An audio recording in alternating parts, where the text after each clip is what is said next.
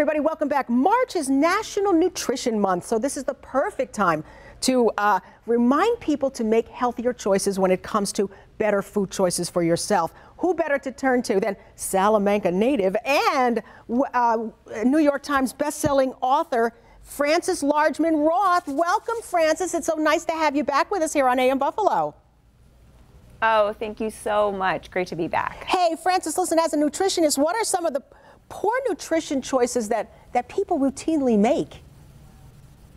Well, they, they look to the fad diets and the celebrities hawking the products instead of just eating the good stuff, the stuff that we know is so good for our, our overall health and longevity. And one of those things is seafood. And the American Heart Association recommends eating two servings of seafood a week, but we are just not doing it.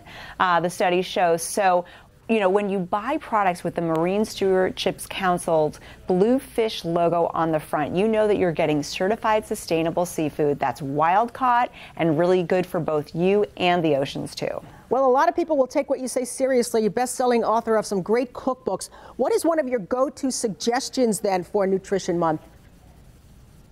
So I'm all about healthy snacking. I have three kids, so you have to have the snacks with you. My new favorite is Solely. They make delicious healthy snacks out of pure whole organic fruit. So they have the fruit jerkies as well as dried fruit varieties. You can find them at Amazon and Whole Foods Market. The fruit is so fresh smelling and delicious. The mango fruit jerky is made out of one whole mango in the package. And also March 1, they are going to have this great new product out made out of spaghetti squash. It's spaghetti squash pasta, cooks in just five minutes. Wow, that's amazing. Now, uh, Frances, what about even those rushed mornings? Like you say, you got three kids, and for a lot of people, just basically getting them out the door is a is a, is a, a feat.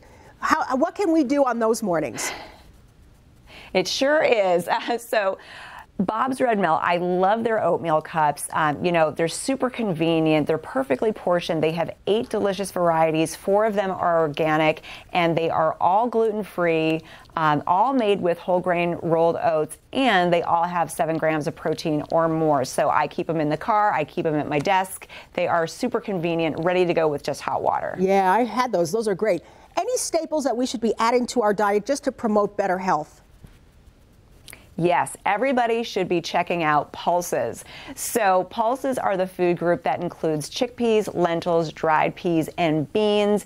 They're very versatile. They are a staple of the Mediterranean diet, which was just ranked the number one diet again. And as you can see, we've used them in a superfood salad. We've also used them in banana bread that's made with chickpea flour. And pulses are incredibly good for you. A half cup serving three times a week helps you maintain your weight, manage your weight, and also get enough fiber. So uh, that's another nutrient that we're a lot of us are falling short in. So go to pulses.org for more recipes. You know what? We just have to spend more time in the supermarket in those healthy aisles and see what's available because they've done a great job getting those foods to us. All we have to do is meet them halfway and try these in some new res- uh, recipes. You can get some of those recipes in Frances's new cookbooks.